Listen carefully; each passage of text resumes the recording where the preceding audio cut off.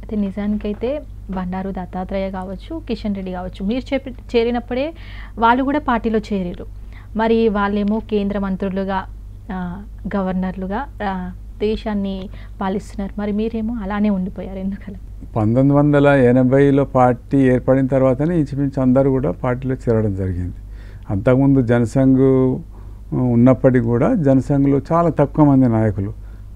అటువంటి ఆ సమయంలో మన రాష్ట్రానికి సంబంధించి నా- నరేంద్ర గారు బంగా లక్ష్మణ్ గారు అదేవిధంగా బద్దం బాలరెడ్డి గారు వి రామారావు గారు ఇక్కడ తెలంగాణకు సంబంధించి నాయకులు ఉండేది. ఆ తర్వాత వెంకయ్యనాయుడు గారు ఇంద్రసేన్ రెడ్డి గారు వీళ్ళంతా ఎమర్జెన్సీ తర్వాత వచ్చినటువంటి నాయకులు. తర్వాత పార్టీ ఏర్పడిన తర్వాత మీరు అన్నట్టు దత్తాత్రేయ గారు అప్పటికే వారు సంఘంలో ఆర్ఎస్ఎస్లో ప్రచారంగా ఉండి మరి సంఘటన కార్యదర్శిగా వారు రావడం జరిగింది. అదేవిధంగా కిషన్ రెడ్డి గారు కూడా జనతా పార్టీలో పనిచేసి మళ్ళీ బీజేపీ వ్యవస్థాపక సభ్యులుగా వారు కూడా వారు ప్రయాణం ప్రారంభించారు. అయితే మీరన్నది ఏంటంటే వాళ్ళు ఆ రకంగా ఎదిగారు మీరే రకంగా. అంటే భారతీయ జనతా పార్టీలో వేల మంది లక్షల మంది కార్యకర్తలు. అందరికీ అన్ని రకాల అవకాశాలు వస్తాయని అదైతే లేదు. ఒకటి ఏంటంటే వాళ్ళకు అవకాశం వచ్చింది.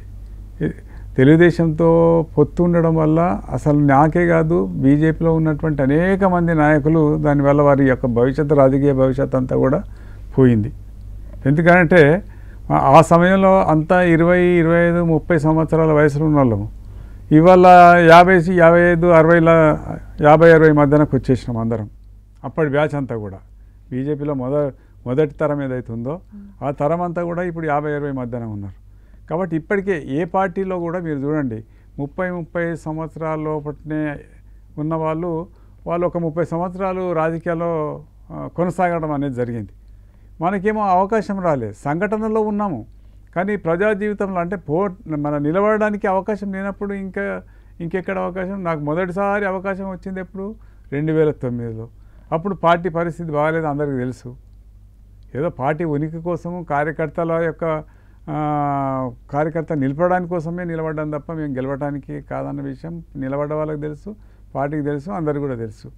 తర్వాత రెండు వేల పద్నాలుగులో ఒక మంచి అవకాశం వచ్చింది. కానీ ఆనాడు కూడా పార్టీ మరి చాలా పార్టీ అంతా నా ఎంబడి ఉంది. కానీ పొత్తుల వల్ల ఆనాడు కూడా మా సీటు గోల్ అయిపోయింది తెలుగుదేశానికి వెళ్ళిపోయింది. ఆనాడు పార్టీ రంగారెడ్డి జిల్లా పార్టీ కానీ రాష్ట్ర పార్టీ కానీ చాలామంది నాయకులు చాలా అన్యాయం జరిగింది. రంగారెడ్డి జిల్లాకు అన్యాయం జరిగింది మల్లారెడ్డికి అన్యాయం జరిగింది అనే విషయంలో అందరూ కూడా ఏకీపించడం జరిగింది. కానీ దురదృష్టం ఏంటంటే మనకు రాలేదు. మీరు అన్నట్టుగా అటువంటి పరిస్థితిలో అయినప్పటికీ కూడా పార్టీకి అప్పటి నుంచి ఇప్పటి వరకు కూడా నిరంతరాయంగా పార్టీ కోసం పనిచేస్తూనే ఉన్నాం. రెండు సీట్లు ఉన్నప్పుడు పనిచేస్తున్నాము మూడు వందల సీట్లు ఉన్నప్పుడు కూడా పార్టీ కోసమే పనిచేస్తూ ఉన్నాము అవకాశాలు రాలేదు. ఎప్పుడైనా పార్టీ కోసం పనిచేసినటువంటి కార్యకర్తలు ఏదో ఒక రోజు తప్పకుండా వస్తుందన్నటువంటి విశ్వాసము పార్టీ మీద పార్టీ సిద్ధాంతం మీద పార్టీ జెండా మీద విశ్వాసంతో పనిచేస్తున్నాం.